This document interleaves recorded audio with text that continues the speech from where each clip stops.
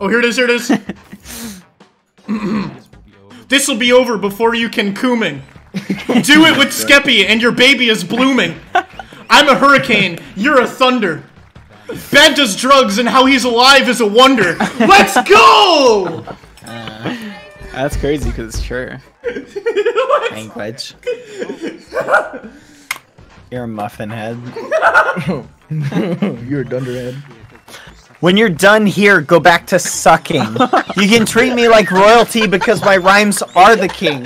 Your rhymes are old, like a secondhand shoe. Put those words on your feet and get out of here. You're through. Go back to sucking. Go back to sucking bad?